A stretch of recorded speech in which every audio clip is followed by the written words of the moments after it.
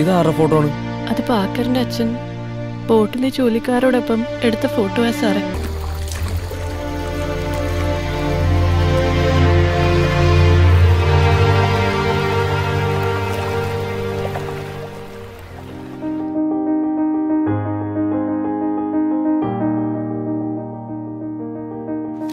സന്തോഷമുണ്ട്. ഒന്ന് എനിക്ക് ഏറ്റവും വലിയ സന്തോഷം എന്ന് പറഞ്ഞാൽ ഈ ഈ സ്റ്റോറി ഇപ്പോൾ ബി ആർ പ്രസാദിന്റെ ഒരു ഷോർട്ട് സ്റ്റോറിയാണ്. അപ്പോൾ ബി ആർ പ്രസാദിന്റെ അവസാനത്തെയും കൂടെയാണ്. അപ്പോൾ അടുത്തൊരു ഫ്രണ്ടോടുകൂടിയായിരുന്നു ബി ആർ പ്രസാദ്. അപ്പോൾ ബി ആർ പ്രസാദിന്റെ ഒരു ഒരു ക്രിയേറ്റീവ് ഇത് എനിക്ക് സ്ക്രീനിൽ കൊണ്ടുവരാനും അത് ഈ രീതിയിൽ ഇന്റർനാഷണലി നല്ല ബ്യൂട്ടിഫുള്ളായിട്ട് പോയ ഒരു പടമാണ്. എനിക്ക് ഭയങ്കര ഹാപ്പിനെസ് ഉണ്ട് മാത്രമല്ല അത് കൊച്ചു പ്രേമനും ഈ പടത്തിൽ അഭിനയിച്ചു പിന്നില്ല നമ്മുടെ കൂടെ അപ്പോൾ ഈ രണ്ട് പേർക്കാണ് ഞാൻ ഈ പടം ഡെഡിക്കേറ്റ് ചെയ്യുന്നത് ബേസിക്കലി പടം തന്നെ it's a dedication to hundreds of thousands of unidentified dead bodies floating in global വാട്ടേഴ്സാണ് so എന്നെ എന്നെ സംബന്ധിച്ചിടത്തോളം ഒന്ന് ഈ സ്റ്റോറി തന്നെ ഒരു ഗ്ലോബൽ ഫിനോമിനാണ് അതാണ് എന്റെ ഏറ്റവും വലിയ. സെക്കൻഡ് എന്റെ മോന് എന്റെ പോയിന്റ് ഓഫ് വ്യൂലാണ് ഈ കഥ പറയുന്നത്. ഒരു കുട്ടിയുടെ പോയിന്റ് ഓഫ് വ്യൂ അതാണ് അതിൽ നിന്നും വേറൊരു സന്തോഷം. സോ എല്ലാം കൊണ്ടും ഞങ്ങൾ ഭയങ്കര ഹാപ്പിയാണ് ഇതിനെ പറ്റി. ബി ആർ പ്രസാദും ഞങ്ങളുമായിട്ടുള്ള relationship goes back nineteen eighty seven nineteen eighty seven eighty eight ആണെന്നൊന്ന് അച്ഛന്റെ അഭയം എന്ന് പറയുന്ന ചിൽഡ്രൻസ് ഫിലിം ഞങ്ങൾ മങ്കൂമ്പിൽ ഷൂട്ട് ചെയ്യുമ്പോഴാണ് പ്രസാദിനെ ആദ്യമായിട്ട് മീറ്റ് ചെയ്യുന്നത്. അന്ന് പ്രസാദ് ഈ അന്ന് ഈ ബ്രിഡ്ജസ് ഒന്നുമില്ല. അന്ന് പ്ര- പ്രസാദിന്റെ വീട്ടിൽ നിന്ന് നീന്തി വേണം ഈ ലൊക്കേഷനിൽ വരാൻ. അങ്ങനെ ഒരു ദിവസം ഞങ്ങൾ പ്രസാദിനെ കാണും സംസാരിക്കും. വളരെ ബ്രില്യന്റായിട്ടും ഒരു ക്രിയേറ്റീവായിട്ടുള്ളൊരു പേഴ്സണായാണ് നമ്മൾ മീറ്റ് ചെയ്തതെന്ന്. അങ്ങനെ ഞങ്ങളുടെ കൂടെ അച്ഛന്റെ കൂടെ കൂടി അങ്ങനെയാണ് ട്രിവാൻഡ്രത്ത് വരുന്നതും നമ്മുടെ വീട്ടിൽ തന്നെയാണ് താമസിച്ച പ്രസാദ്. അങ്ങനെ അങ്ങനെ പ്രസാദ് ഞങ്ങളുടെ ഒരുപാട് ചിൽഡ്രൻസ് ഫിലിമിന് എഴുതിയിട്ടുണ്ട്. പിന്നെ ഗാന്ധർവം പ്രസാദ് എഴുതി ജോണി എന്നുള്ള ചിൽഡ്രൻസ് ഫിലിം എഴുതി. അങ്ങനെ ഒരുപാട് രീതിയിൽ പ്രസാദുമായിട്ട് കൊളാബറേറ്റ് ചെയ്തു. പിന്നെ പ്രസാദ് തന്നെ തന്നെ ലിറിക്സ് വേറെ എഴുതാൻ തുടങ്ങി. പിന്നെ ടി വി ഹോസ്റ്റ് അങ്ങനെ പ്രസാദിന്റെ ഗ്രോത്ത് നല്ലതായിരുന്നു. പക്ഷേ ഇത്രയും കഴിവുള്ള ഒരു ഒരു റൈറ്ററെ ഞാൻ കണ്ടിട്ടില്ല. In terms of കോൺസെപ്റ്റും very well read very well read and all that covid കഴിഞ്ഞതിന് ജസ്റ്റ് കോവിഡ് കഴിഞ്ഞതിന് ശേഷമാണ് ഞാൻ പ്രസാദിനെ കൊച്ചിയിൽ വെച്ച് കാണുന്നത്. അങ്ങനെ പല കാര്യങ്ങൾ പേഴ്സണലായിട്ടുള്ള പല കാര്യങ്ങൾ സംസാരിച്ചതിന്റെ കൂട്ടത്തിൽ ഞാൻ പറഞ്ഞു പ്രസാദ് നിങ്ങളുടെ നല്ല ഷോർട്ട് സ്റ്റോറി വല്ലതും ഉണ്ടോ? എനിക്ക് ഒരു സ്റ്റോറി ഞാൻ നോക്കി നടക്കുകയാണ്. ഞാൻ മോന്റെ കാര്യമൊന്നും പറഞ്ഞില്ല. അപ്പോൾ പറഞ്ഞു എന്റെ ഹൂ ആര് എന്ന് പറഞ്ഞൊരു ഷോർട്ട് സ്റ്റോറി ഉണ്ട്. പക്ഷെ ഞാനത് ഫുള്ളി ഡെവലപ്പൊന്നും ചെയ്തില്ല ഇനി. ബിക്കോസ് പ്രസാദിന് അപ്പോഴത്തേക്കും വളരെ സുഖമില്ലാത്തൊരു മനുഷ്യനായിരുന്നു ആ സമയത്തെ. പല ഇഷ്യൂസ് ഉണ്ടായിരുന്നു. കാലൊക്കെ നീരടിച്ചിട്ടുള്ള പ്രശ്നങ്ങളൊക്കെ ഉണ്ടായിരുന്നു. അപ്പോൾ ഈ സ്റ്റോറി പ്രസാദ് പറഞ്ഞപ്പോൾ എനിക്ക് ഭയങ്കരമായിട്ട് അത് ഇഷ്ടപ്പെട്ടു. അപ്പോൾ അതുവരെ ഞാൻ നല്ല പ്രഷറിലായിരുന്നു കാര്യം അച്ഛൻ എപ്പോഴും കാര്യം മോനെ സിതാൻഷുവിനെ വെച്ചൊരു പടം ചെയ്യണം. നമ്മളല്ലെങ്കിൽ പിന്നെ ആരെ ഇത് ചെയ്യാൻ പോകണം അവന് ഭയങ്കര ഇൻട്രസ്റ്റ് ആണ്. അവന്റെ അവന്റെ നാച്ചുറൽ കേപ്പബിലിറ്റീസ് ഉള്ളൊരു ആക്ടറാണ് അവൻ. അവനെ ചെയ്യണം അപ്പം ഞാൻ പറഞ്ഞു വെച്ചാൽ അത് നല്ലൊരു സബ്ജക്റ്റ് വരുമ്പോൾ നമുക്കത് ചെയ്യാം. ആലോചിക്കാവുന്നേ ഉള്ളെന്ന് പറഞ്ഞു. അപ്പോൾ ഇത് വന്ന് വീണപ്പോൾ രണ്ട് രീതി വന്നു. ഒന്നും അതിന്റെ സബ്ജക്റ്റിന്റെ സ്ട്രെങ്ത് രണ്ട് ഒരു കുട്ടിയുടെ പോയിന്റ് ഓഫ് വ്യൂവിലാണ് കഥ. അപ്പോൾ ഞാൻ പ്രസാദിന്റെ അടുത്ത് പറഞ്ഞു പ്രസാദ് എനിക്കിത് ചെയ്യണം. ഞാൻ ഐ വിൽ ഡു ദിസ് മോനെ വെച്ചാണ് എനിക്ക് ചെയ്യേണ്ടത്. പക്ഷേ പ്രസാദ് മോനെ ഒന്ന് കാണണം. അങ്ങനെ ഞാൻ മോനെയും ദീപ്തിയായിട്ട് ഞാൻ മങ്കോമ്പിൽ ഞങ്ങൾ ലൊക്കേഷൻ കാണാനായിട്ട് പോയപ്പോഴാണ് പ്രസാദ് ആദ്യമായിട്ട് മോനെ കാണുന്നു പറഞ്ഞു. ഒന്നും നോക്കണ്ട ഇത് ആപ്റ്റാണ് പെർഫെക്റ്റ് കാസ്റ്റിംഗ് ആണ്. ലെറ്റസ് ഗോ ഹാറ്റ് അല്ല ഞാൻ ഈ സ്ക്രിപ്റ്റ് റെഡിയാക്കി പ്രസാദ് ഞാനും കൂടി ഇരുന്ന് സ്ക്രിപ്റ്റ് റെഡിയായ ഉടനെ തന്നെ അത് ഞാൻ സ്ക്രിപ്റ്റ് സിതാംശിന്റെ കൊടുക്കുകയാണ്. സമയം ഇഷ്ടംപോലെ ഉണ്ടായിരുന്നു. അപ്പോൾ അവനത് നല്ല വൃത്തി പഠിച്ചു. പഠിച്ച് ഡയലോഗൊക്കെ നല്ല ബയോട്ട് ചെയ്ത് നല്ല പിന്നെ പ്രൊനൗൺസിയേഷൻ എല്ലാം കറക്റ്റ് ചെയ്ത് പിന്നെ ബോട്ടിങ് ആയാലും സ്വിമ്മിങ് ആയാലും അതെല്ലാം തന്നെ തന്നെ ചെയ്തിട്ട് നല്ലൊരു പ്രിപ്പറേഷൻ അവൻ അതിനകത്ത് കൊടുത്തു. അതിന്റെ റിസൾട്ടാണ് ഈ പടത്തിൽ കാണുന്നത്. അല്ല ഇതിനകത്ത് സൗബിൻ ഷാഹിർ നരേനും പിന്നെ ബൈജു എന്നൊക്കെ പറയുന്ന വളരെ അടുത്ത ആൾക്കാരാണ്. അവരുടെ അടുത്ത് ഇങ്ങനെ ഒരു സ്റ്റോറി പറയും അത് മോനെ വെച്ച് ചെയ്യുമെന്ന് പറഞ്ഞപ്പോൾ അവർ വേറെ ഒന്നും ചോദിച്ചില്ല. We are there with you എന്നാണ് പറഞ്ഞത്. അത് വളരെ അങ്ങനെയൊക്കെ വളരെ ഡിഫിക്കൽട്ടാണ് ഈ കാലത്ത് മനസ്സിലായില്ല? വന്ന് പറയാൻ. ഒരു ഫാമിലിയെ പോലെ ആയിരുന്നു. ഇപ്പോൾ തോമസ് സർ മ്യൂസിക് ഡയറക്ടർ എനിക്ക് വളരെ ക്ലോസ് ആയിട്ട് അറിയാവുന്ന ഒരു ഹോളിവുഡ് മ്യൂസിക് ഡയറക്ടറാണ്. അപ്പോൾ ഞാൻ പറഞ്ഞു തോമസിന്റെ അടുത്ത് എനിക്ക് ഈ പടം നമ്മുടെ ഇവിടുത്തെ ട്രഡീഷണൽ കൺവെൻഷണൽ മ്യൂസിക് അല്ല എനിക്ക് വേണ്ട. ഐ വോണ്ട് സംതിങ് ഡിഫറെന്റ് അതുകൊണ്ടാണ്. അപ്പം വിഷ്വൽ വേറെയാണ് മ്യൂസിക് വേറെയാണ്. അപ്പോൾ ഈ took lot of time to come up with a music like that പക്ഷെ അതൊക്കെ പാർട്ടിസിപ്പേഷനാണ് ഇപ്പോൾ ശ്രീകർ പ്രസാദ് എന്ന് പറയുന്ന ഒരേ സമയത്ത് എട്ടും പത്തും പടം എഡിറ്റ് ചെയ്തുകൊണ്ടിരിക്കുന്ന ആളാണ്. പുള്ളിക്കാരന് ഈ ചെറിയ പടങ്ങളൊന്നും ചെയ്യേണ്ട ഒരാവശ്യമില്ല. പക്ഷേ അത് ഒരു ചെറിയ പടമാണ് നല്ലൊരു സബ്ജക്റ്റാണ് പിന്നെ മോനെ വെച്ച് ചെയ്യുന്നു. അപ്പോൾ ഇവരുമായിട്ടൊക്കെ നല്ല റിലേഷൻഷിപ്പാണ് അത് ഇന്നും ഇന്നലെയും തുടങ്ങിയ റിലേഷൻഷിപ്പല്ല അതാണ് ഇതിനകത്ത് യൂസ് റസൂലായാലും വന്നിട്ട് പറഞ്ഞു സഞ്ജീവ് ഞാൻ സൗണ്ട് ചെയ്യുന്നു. എന്ത് വന്നാലും സൗണ്ട് ചെയ്യുന്നു. ബഡ്ജറ്റ് ഒന്നും നോക്കണ്ട. I will do the sound എന്ന് പറയുന്ന ഒരു ഒരു കോൺഫിഡൻസ് അതുകൊണ്ട് ടെക്നിക്കലി ഭയങ്കര സുപ്പീരിയർ ആണ് പടം. Because if you when you see it you will realise it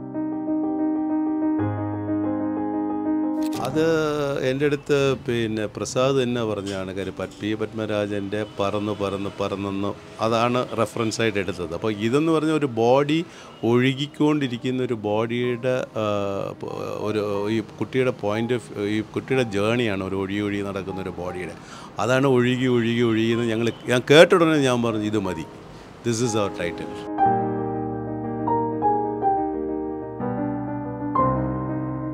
അപരിചിതൻ ഡെഫിനറ്റായിട്ടും ഉണ്ട് അത് towards the end of the year ആയിരിക്കും. അതിന്റെ റിസർച്ചും പിന്നെ സ്ക്രിപ്റ്റിംഗ് എല്ലാം തുടങ്ങി. അത് കംപ്ലീറ്റ്ലി റൂമിലാണ് ഷൂട്ട് ചെയ്യുന്നത് എന്റയർ ഫിലിം അപ്പോൾ അതിന്റെ പണികൾ നടന്നുകൊണ്ടിരിക്കുന്നു. പക്ഷേ അതിൽ നിന്ന് ഏറ്റവും ചലഞ്ചിങ് ആയിട്ടുള്ളതെന്ന് പറഞ്ഞ ഒരു വലിയൊരു ഡോക്യു സീരീസ് അത് തിയേറ്ററിൽ റിലീസ് ചെയ്യുന്ന രീതിയിലുള്ള രണ്ട് മണിക്കൂർ ഡോക്യുമെന്ററിയാണ് it is on Rajan Pillai the biscuit baron nineteen എയ്റ്റീസിൽ from cashew business to Britannia ചെയർമാനായ രാജൻ പിള്ളയുടെ കഥയാണ്. അത് നീന പിള്ള വൈഫിന്റെ പോയിന്റ് ഓഫ് വ്യൂ മക്കളുടെ പോയിന്റ് ഓഫ് വ്യൂ എന്നുള്ള കഥയാണ്. പക്ഷേ അത് റിസർച്ചും അവരുടെ സ്റ്റോറി എല്ലാം കേട്ടിട്ട് ഇതിനകത്തുള്ള ഏറ്റവും വലിയതെന്ന് പറഞ്ഞു കഴിഞ്ഞാൽ മരിച്ചും മരിക്കാത്തുള്ള ആൾക്കാർ ഒരുപാട് ആൾക്കാർ ഇതിന്റെ മെയിൻ വില്ലനാണ് കൾപ്രിറ്റ്സാണ് ഫാമിലി രാജൻ പിള്ളയുടെ ഫാമിലി ഇതിനകത്ത് കൾപ്രിറ്റാണ് അദ്ദേഹത്തിനെ മനഃപൂർവം മാനിപ്പുലേറ്റ് ചെയ്ത് തിഹാർ ജയിലിലിട്ട് ഇടിച്ചു കൊന്നതാണ്. അന്ന് സോഷ്യൽ മീഡിയ ഇങ്ങനെ സോഷ്യൽ മീഡിയയും കാര്യങ്ങളൊന്നും ഇല്ലാത്തതുകൊണ്ട് ഇതൊന്നും വെളിയിൽ വന്നില്ല. ഇന്നതല്ല. ഇന്നിങ്ങനെ ഒരു സംഭവം ഒരിക്കലും ഉണ്ടാവില്ല. അങ്ങനെ ഒരു മനുഷ്യന് ഇത്രയും ക്രൂരമായിട്ട് കൊന്നിട്ട് ഒരു it is a fight of single woman that is Neena Pillai അതാണ് എന്റെ പടം. ഈ പടം വരുന്നു കഴിയുമ്പോഴത്തേക്കും പല മോഹമൂടികളും കഴിച്ചു കഴിക്കും. കാര്യം അത്ര പവർഫുള്ളാണ് സ്റ്റോറി ഇപ്പോഴത്തെ ജനറേഷനിൽ Sidhanshu is coming as an actor not as a technician അതൊരു വലിയൊരു ഇതാണ്. അപ്പോൾ ഞാൻ എപ്പോഴും പറയുന്നത് ഇനി ആർട്ടിസ്റ്റുകളുടെ പുറകെ പോകണ്ടല്ലോ ഒരു പടം ചെയ്യാൻ. വീട്ടിൽ തന്നെ ഉണ്ടെങ്കിൽ പിന്നെ വേറെ പ്രശ്നമില്ലല്ലോ. അപ്പം അത് സിദ്ധാൻഷുവിന്റെ എപ്പോഴും പറയുന്നത് I will make sure that this generation are actors എന്ന് അവൻ തന്നെ പറയുകയാണ് അപ്പോൾ അതിനോട് വലിയ അച്ഛനില്ലാതെ പോയത് വലിയ സങ്കടമാണ്. അച്ഛന്റെ അത് കാണാനും അത് അറിയാനും ഉള്ളൊരു ഇത് ഇല്ലാതെ പോയത് ഭയങ്കര സങ്കടമാണ്.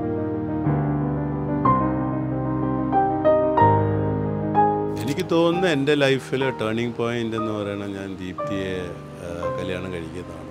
Because ദീപ്തിയുടെ outlook towards life is different അവരൊരു കോർപ്പറേറ്റ് ആണ്. Beside she's a very creative person അപ്പം ഒന്നും ദീപ്തിയുടെ ഫ്രണ്ടിൽ nothing is impossible everything is possible എന്നുള്ളൊരു ആറ്റിറ്റ്യൂഡും പിന്നെ അതുകൊണ്ടാണ് സത്യം പറഞ്ഞാൽ ഇങ്ങനെയൊക്കെ ഡിഫറെന്റ് ഡൈവേഴ്സ് സംഭവങ്ങൾ ചെയ്യാൻ പറ്റുന്നതും ഇപ്പം ഞാൻ ആദ്യം ഇത് എടുത്തപ്പോൾ എനിക്ക് രണ്ട് പ്രൊഡ്യൂസേഴ്സ് വന്നു.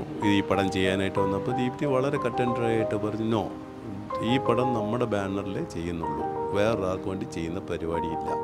എന്ന് പറഞ്ഞാൽ അപ്പോൾ ഇപ്പോൾ എന്നാ it's a very good decision that we made because ഇത് ഇന്റർനാഷണൽ ഫിലിം ഫെസ്റ്റിവലിൽ പോകുന്നു.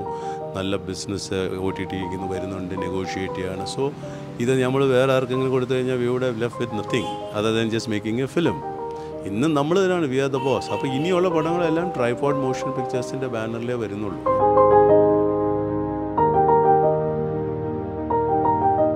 മക്കളുണ്ടായിട്ട് എന്താ കാര്യം? എന്തെങ്കിലും കാര്യം നടക്കണം ഇതേ ഇവൻ വേണം. മോനുവിനെ ആരാവാൻ ആഗ്രഹം എനിക്ക് സ്ട്രോങ്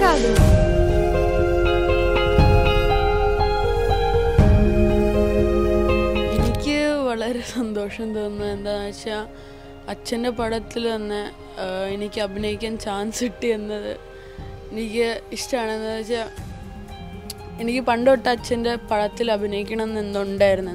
എട്ട് വയസ്സ് തൊട്ട്. എന്ന് വെച്ചാൽ എട്ട് വയസ്സാവുന്ന സമയത്ത് അച്ഛൻ ഈ പടം ഡയറക്റ്റ് ചെയ്യുന്ന സമയത്താണെങ്കിൽ ഞാൻ ബാക്കിലിരുന്ന് കാണുമായിരുന്നു ഈ അച്ഛൻ എങ്ങനെയാണ് ഡയറക്റ്റ് ചെയ്യുന്നത് എന്നിട്ട് ഈ ആക്ടേഴ്സ് ആണെങ്കിൽ ആക്ടിങ് ചെയ്യുമ്പോൾ ഞാനാണെങ്കിൽ നോക്കുമായിരുന്നു അവരെങ്ങനെ ആക്ട് ചെയ്യുന്നത് അപ്പോൾ ഞാൻ വിചാരിച്ച് എനിക്ക് ഇവരുടെ കാളും കുറച്ചും കൂടി നല്ലത് ചെയ്യാൻ പറ്റും ഈ ആക്ടേഴ്സിന്റെ കാളും അപ്പോൾ തൊട്ട് എട്ട് വയസ്സ് തൊട്ട് എനിക്ക് ആഗ്രഹം ഉണ്ടായിരുന്നു. അപ്പോൾ ഒരു നാല് വർഷം കഴിഞ്ഞിട്ട് ഇത് ഫുൾഫിൽ ആകുമ്പോൾ ഒരു എനിക്കാണെങ്കിൽ ഒരു അച്ഛൻ ഈ പറഞ്ഞപ്പോൾ തന്നെ എനിക്കൊരു നല്ല എക്സൈറ്റ്മെന്റ് ഉണ്ടായിരുന്നു. പിന്നെ രണ്ട് മാസം മുമ്പേ തന്നെ ഞാൻ ഈ ഇതൊക്കെ പഠിച്ചു. അപ്പോൾ എനിക്ക് പണ്ട് തൊട്ടേ ആഗ്രഹം ഉണ്ടായിരുന്നു അച്ഛന്റെ ഒരു പടത്തിൽ അഭിനയിക്കാൻ. അപ്പോൾ അത് കേട്ടപ്പോൾ എനിക്ക് നല്ല ഇഷ്ടമുണ്ട്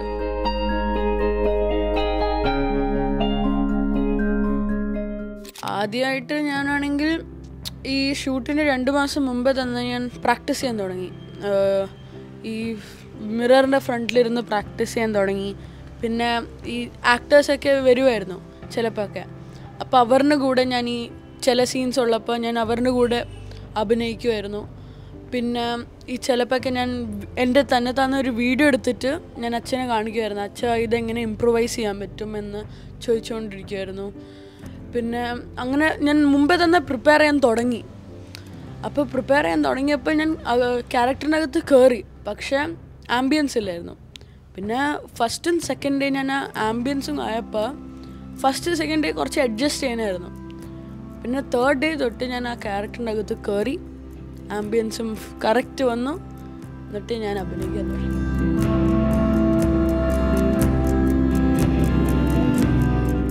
അവരുടെ ഇനി എനിക്കാണെങ്കിൽ കുറേ പടങ്ങൾ കാണുന്ന സമയത്ത് ഞാൻ എസ്പെഷ്യലി ചൈൽഡ് ആക്ടേഴ്സാണ് കൂടുതൽ കാണുന്നത് എന്ന് വെച്ചാൽ എനിക്ക് ഞാൻ ആലോചിക്കും ഇവരുടെ ഏഹ് അവരില്ലെങ്കിൽ ഞാൻ അതിന്റെ അകത്ത് അഭിനയിക്കുകയാണെങ്കിൽ ഞാൻ എന്തൊക്കെ ചെയ്തേനെ? ഞാൻ അവരുടെക്കാളിലും എന്ത് ചെയ്യാൻ പറ്റും?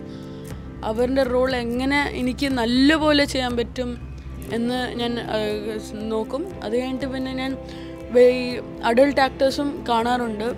അവരെങ്ങനെ എക്സ്പ്രഷൻ അവരുടെ കുറച്ച് മൂമെന്റ്സും ജസ്റ്റേഴ്സ് എനിക്ക് അങ്ങനെ ചെയ്യാൻ പറ്റുമോ ഡയലോഗ് ഡെലിവറി അവരുടെ എക്സ്പ്രഷൻ പിന്നെ എല്ലാം അവരുടെ എവറിത്തിങ് മൂമെന്റ്സ് വരെ ഞാൻ നോക്കുമായിരുന്നു ഒബ്സർവ് ചെയ്യുമായിരുന്നു എങ്ങനെ അത് ചെയ്യാൻ പറ്റുന്ന. അപ്പോൾ ഞാൻ കുറേ പടങ്ങൾ കാണാറുണ്ട് എസ്പെഷ്യലി ചൈൽഡ് ആക്ടേഴ്സ് എന്നിട്ട് അവിടുന്ന് ഞാൻ ഒബ്സർവ് ചെയ്യാറുണ്ട്. അങ്ങനെയാണ്. പ്രതീക്ഷകളെന്ന് വെച്ചാൽ ഞാനാണെങ്കിൽ ഇത് ഇപ്പം അച്ഛനും സംഗീത ലച്ചൻ സന്തോഷ ലച്ചൻ സെക്കൻഡ് ജനറേഷൻ അപ്പൂപ്പൻ ഫസ്റ്റ് ജനറേഷൻ ഇനി അവർ അവരുടെ ജോലി ചെയ്തിട്ട് ജനറേഷൻ വണ്ണും ജനറേഷൻ ടു ഹിറ്റാക്കിയിട്ടുണ്ട് ഞാൻ ജനറേഷൻ ത്രീ എടുക്കും എന്നിട്ട് അതും ഹിറ്റാക്കും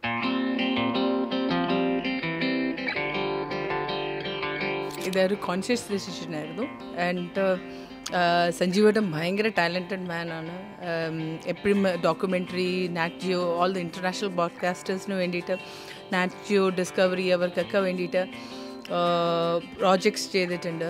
ആയിട്ട് ന്യൂയോർക്ക് എൻ വൈ യു കൂടെ ഈ പാസ് ഔട്ട് ആയതാണ്. ഫിലിം സ്റ്റഡി ഫിലിം സ്റ്റഡീസൊക്കെ ചെയ്തത് അബ്രോഡാണ് അപ്പോൾ ഞാൻ എപ്പോഴും പറയായിരുന്നു ചേട്ടന്റെ അടുത്ത് ചേട്ടാ ചേട്ടൻ ചേട്ടന്റെ ടാലന്റ് വേസ്റ്റ് ചെയ്യുക നമ്മളൊക്കെ നമ്മൾ ഡോക്യുമെന്ററീസ് എടുത്തത് ജീവിക്കാൻ വേണ്ടിയിട്ട് പൈസ ഉണ്ടാക്കാൻ വേണ്ടിയിട്ട് ഒക്കെ. പക്ഷേ ലൈഫിലെ ഡ്രീംസും എംബിഷൻസ് ചെയ്യണമെങ്കിൽ ആക്ച്വലി കമേഴ്ഷ്യൽ സിനിമ ചെയ്യണം.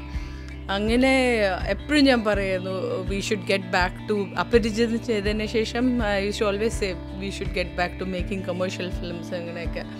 പക്ഷേ കുറേ കമ്മിറ്റ്മെന്റ്സ് ഉണ്ടായിരുന്നു. അത് കഴിഞ്ഞ് ഞാൻ ഡോക്യുമെന്ററി ചെയ്തു അപ്പം ഡീ കോഡിങ് ശങ്കർ ചെയ്തു അതിന് lots twenty five international awards ജയിച്ചു. ഞാൻ കെ ബി സി ക്വസ്റ്റ്യനായി അതൊരു എന്റെ ഏറ്റവും വലിയ അച്ചീവ്മെന്റ് മോർ ദാൻ എനിത്തിങ് അപ്പോൾ അങ്ങനെയൊക്കെ ആയപ്പോഴത്തേക്ക് ഞാൻ പറയുന്നത് ഇനി ഡോക്യുമെന്ററി ഞാൻ നോക്കിക്കൊള്ളാം. ചേട്ടൻ പോയി സിനിമ ചെയ് എന്ന് പറഞ്ഞു. അങ്ങനെ ആ, ഒരു ഡിസിഷൻ എടുത്തതിന് ശേഷം സഞ്ജീവ് സഞ്ജീവേട്ടന്റെ ഈ ഒഴുകി ഒഴുകി ഒഴുകി സിനിമ ഡയറക്റ്റ് ചെയ്യാൻ നേരത്തെ ഞാൻ തന്നെ പ്രൊഡക്ഷൻ ഏറ്റെടുത്തത്. I am very very very happy അപ്പോൾ I wanted to give the best അതുകൊണ്ട് ദ എന്റയർ തിങ് ആ മൗണ്ട് ചെയ്തപ്പോഴത്തേക്ക് സഞ്ജീവേട്ടൻ ഡയറക്റ്റ് ചെയ്യുന്നു. ആ, മനോജ് പിള്ളെ സിനിമോട്ടോഗ്രാഫർ ചെയ്യുന്നു. State award winner Resul Pookutty sound ചെയ്യണു Oscar award winner multi multiple national award winner ശ്രീക Prasad edit ചെയ്യണു എനിക്കൊരു മ്യൂസീഷ്യൻ ഹോളിവുഡ് മ്യൂസീഷ്യനാണ് തോമസ് കാന്റലിൻ തോമസ് കാന്റലിന്റെ ലേറ്റസ്റ്റ് ഹോളിവുഡ് ഫിലിം ആയിരുന്നു ലംബോർഗിനി അപ്പോൾ അങ്ങനെ ഒരു ലേ I had in best star cast best Soubin ഇതുപോലത്തെ നല്ല ഒരു actor natural actor who lives in the character best friend Naren Yadu Yadu Yadukrishnan ഉഗ്രനായിട്ട് perform ചെയ്തു. പിന്നെ ബൈജു സന്തോഷ് ഏട്ടന്റെ ആ ക്യാരക്ടർ അത് ഓട്ടോമാറ്റിക്കലി ലിവ് ചെയ്തു. സോ എന്റെ രണ്ടാമത്തെ മോനാണ് സിദ്ധാൻഷു സഞ്ജീവ് ശിവൻ. അവൻ അവനാണെങ്കിൽ അച്ഛന്റെ രക്തത്തിലുള്ളതെന്ന് പറയൂലേ. അതേമാതിരി അപ്പോൾ ആറ് വയസ്സ് ഒരു ഫൈവ് സിക്സ് ഇയേഴ്സ് ആയപ്പോൾ തന്നെ അവൻ സിനിമ ഫുൾ ടൈം കാണും. അവന് ഒരു ദിവസം ഒരു സിനിമ കണ്ടേ പറ്റൂ. ഇത് ഒരു വിത്തൗട്ട് വൺ സിനിമ അവന് ഉറങ്ങാൻ പറ്റത്തില്ല. ഇപ്പോഴും ഉണ്ടത്. അത് ഏത് ഭാഷ ആയിക്കോട്ടെ ഭോജ്പുരി ആയിക്കോട്ടെ പഞ്ചാബി ആയിക്കോട്ടെ സ്പാനിഷ് ആയിക്കോട്ടെ ഇറാനിയൻ ആയിക്കോട്ടെ മലയാളം ആയിക്കോട്ടെ തമിഴ് തെലുഗു കന്നഡ ഏത് ഭാഷ ആയിക്കോട്ടെ as long as it is a good content അവൻ റിവ്യൂ വായിച്ച് എല്ലാം ചെയ്ത് അവൻ വായി സിനിമ കണ്ടിരിക്കും. അതിന്റെ അവന് അഭി അവന്റെതായ ഒരു അഭിപ്രായമുണ്ട്. അത് അവൻ അച്ഛന്റെ അടുത്ത് വന്നിട്ട് പറയുകയൊക്കെ ചെയ്യും. അപ്പോൾ ഈവൻ ഈ ഈ dream of being an actor ചെറുപ്പം മുതലേ ഉണ്ട്.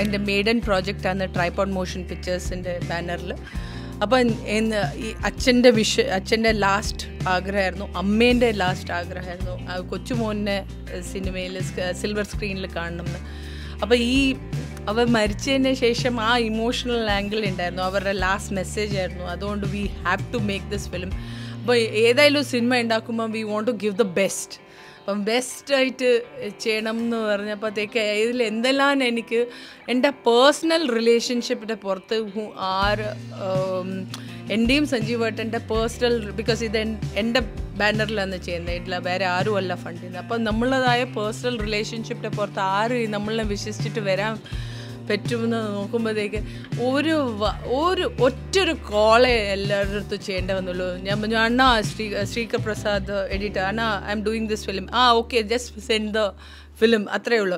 റസൂൽ റസൂൽ ഏട്ടന്റെ അടുത്ത സ്റ്റോറി സഞ്ജീവ് ഏട്ടൻ നമ്മൾ ടൊറന്റോയിലായിരുന്നു അന്ന്.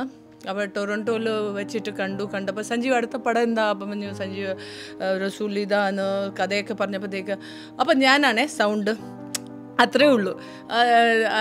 തോമസിന്റെ അടുത്ത് ഞാൻ പറഞ്ഞു Thomas your five your one film budget remuneration is my five film budget I can't afford you I am not asking you for money എന്ന് പറഞ്ഞു. ഈ സോബിനേട്ടൻ ആയിക്കോട്ടെ നരേൻ ആയിക്കോട്ടെ യദുകൃഷ്ണൻ ആയിക്കോട്ടെ ബൈജു ഏട്ടൻ എല്ലാവരും പറഞ്ഞു ബൈജു ഏട്ടൻ അതൊക്കെ സമ്മതിക്കത്തില്ല ഭയങ്കര കമേഴ്ഷ്യൽ ആക്ടറാണ് സഞ്ജീവ് ഞാൻ വന്ന് ചെയ്തിരിക്കും. ബസ് ദാറ്റ്സ് ഇറ്റ് അത് സോ ഇവരെല്ലാവരും ആരും ഞാൻ അപ്രോച്ച് ചെയ്ത് എല്ലാവരും അവരുടെ നമ്മളുടെ അടുത്ത് ആ ഒരു സ്നേഹത്തിന് പുറത്ത് വന്ന ആൾക്കാരാണ്.